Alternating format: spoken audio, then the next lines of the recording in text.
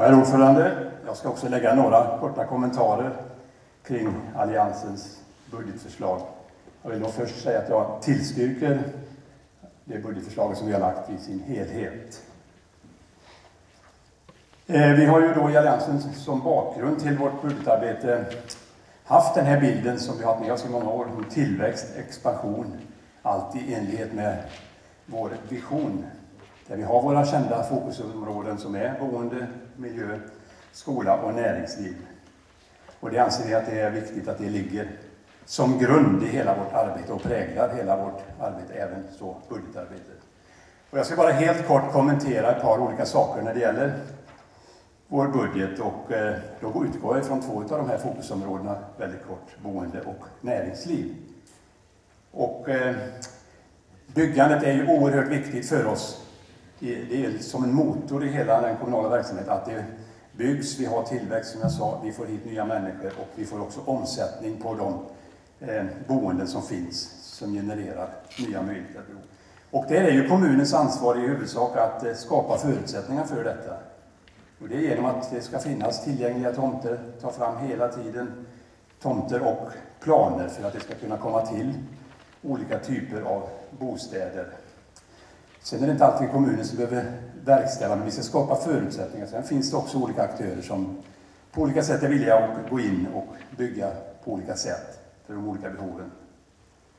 Och eh, vi har ju ett tydligt mål kring detta i, i, i budgeten och det är ju att invånarantalet då ska öka med 100 personer per år. Har vi ju skrivit i vår budget. Så det var kort om, om boendet, där, hur viktigt det är utifrån den kommunala biten. När det gäller näringslivet så är det också välkänt för oss alla. Det har ju historiskt gjorts och det görs ett mycket bra arbete för att vi ska ha ett bra näringsliv och ett näringslivsklimat som är i topp. Och det görs ju till stor del av kommunen, av kommunen men också tillsammans med näringslivet COI. Eh, vilket vi ser då resultatet av har gjort i många, många år och det ser fortfarande mycket bra ut i olika mätningar. Men det gäller att inte slå sig till ro här utan vara på tå hela tiden och se vilka, vilka behov som finns och vilka behov som kommer framåt. Och en annan viktig bit när det gäller näringsliv det är ju kopplingen mellan företagen och skolan. Vi har teknikprojektet som var framgångsrikt och det vill vi utveckla även på, eh, till de äldre åren i skolan. Och en annan viktig bit är då Eh, när det gäller kopplingen mellan näringsliv och skola, det är ju prao-verksamheten, alltså få igång den delen som vi känner har varit lite låg prioritet på mellan framförallt högstadieeleverna och skolan. Att de kommer ut och får se hur det fungerar i, i näringslivet. Genom, som vi kallar för i alla fall prao. Det kanske finns andra vägar där idag, men det är viktigt att ha den kopplingen. Eh, en annan liten detalj kan man säga kring näringslivet som vi har sett flera resultat av i kommunen som är intressant och det är ju det här eh, de kommunala upphandlingarna som har blivit eh, lite mer lättare att hantera. Att lokala företag kan vara med på ett annat sätt idag och eh, det skapar också möjligheter för serviceföretagen på lokal nivå här att få en större möjlighet att, att få jobb eh, i, utav kommunen och dess eh, så det tycker jag är jättepositivt. Jag har faktiskt något väldigt tydligt exempel på ett serviceföretag som, som har fått mycket mer uppdrag av kommunen på grund av detta, att det finns lättare vägar att gå där. Som faktiskt har möjlighet att anställa ytterligare någon bara, som kanske vi har kört till andra kommuner, eh, fått göra de jobben förut. Va?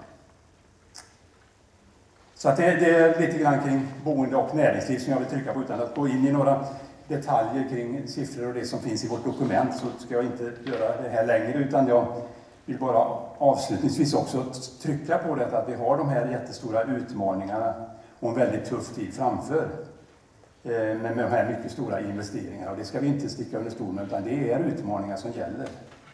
Eh, men samtidigt som vi har det här framför oss och kan känna en stor oro, kanske, så tycker jag också det känns väldigt positivt och bra på många sätt. Och det finns så många positiva saker i kommunen att ta vara på. Och det ska vi göra.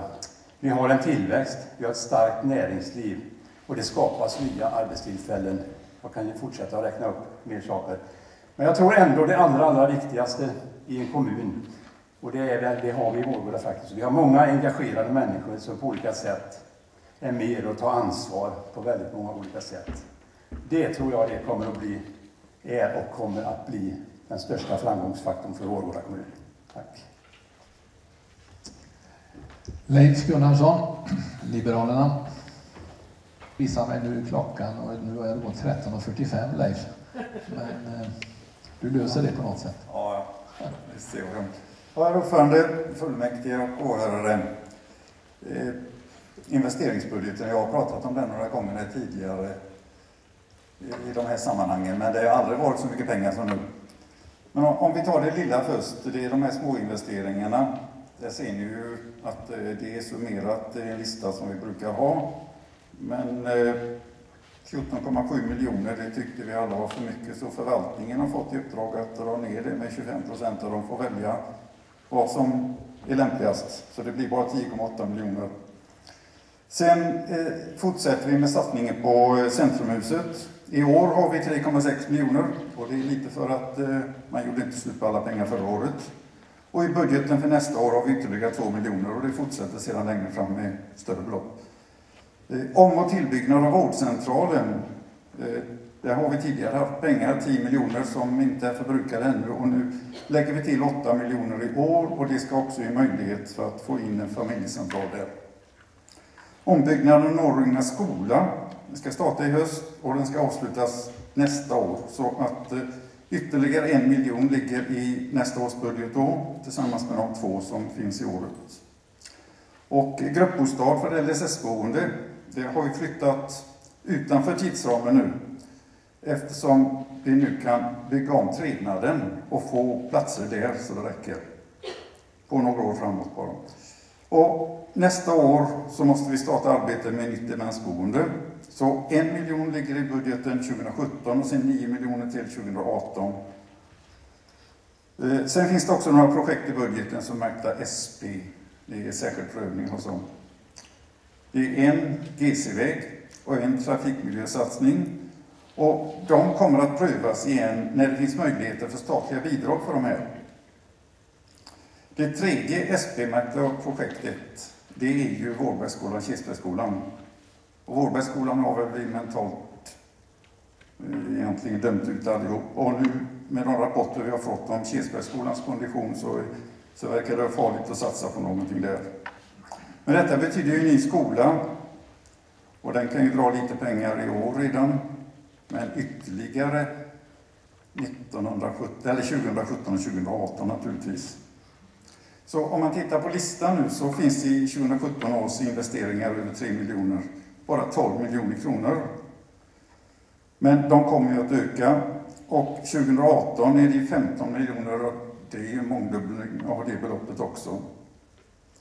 Avgiftsfinansierade eh, investeringar, det är 2 miljoner kronor som är lite som vi brukar ha. Exploateringsinvesteringar 7,5 miljoner och det är största delen när ni är på flygaren där vi bygger väg och VA. Men om man gör en sammanfattning av detta här så kan vi titta på, i år har vi 74,7 miljoner i budgeten. Och dessutom eh, 68,5 miljoner kronor från 2015 som är överförda till 2016. Alltså det är långt över, det är väl 140 miljoner. Men enligt eh, den förstärkta månadsrapporten vi fick från, eh, ja, gällande från 30 april så är det 98,1 miljoner kronor man kommer att investera i år. Och 45 miljoner överförs till nästa år. Ja. Och för nästa år hade vi då 32,3 miljoner totalt i det jag sa förut. Och sen har vi 45 miljoner till, det blir 77. Och sen ska vi in i en ny skola. Den kanske kostar lika mycket som den där 77. Det betyder att vi behöver investera mellan 110 och 120 miljoner nästa år. Och sedan 2018 hade vi bara 30 miljoner. Men resterande 30-40 miljoner till skolbygget. Det kommer att ge 60-70 miljoner 2018 istället för det vi har i listan. Alltså detta blir 270 miljoner kronor över tre år. Vi har aldrig gjort något liknande, det sa Bengt Hilmesson. Men det är beloppet. Och det är inte roligt. Ja, konsekvensen av detta här? Jo, vi måste hålla uppe resultatet och vi måste spara. Vi måste titta på varenda krona vi lägger ut. Men investeringarna vi gör, en del av dem får vi avkastning på. Alltså ett eh, boende som vi investerar i på Björnen, det kommer att vara ge positiva resultat på längden. Men vi har också en massa investeringar som bäddar för inflyttningar här. Och vi, jag säger det, det vore skönt om vi blir fler som betalar skatt i Vårgårda. Men till dess så måste vi titta på alla utgifter. Jag vill... Eh, eh, jag vill... Eh, för, till, fastnade i det nu. Jag vill tillstyrka Alliansens förslag till budget och även Bengt Hilmerssons eh, tilläggsförslag om skattesatsen. Tack för ordet. Tack så mycket. vara lite snällare. Synd om Liberalerna som kommer sist där i den långa raden.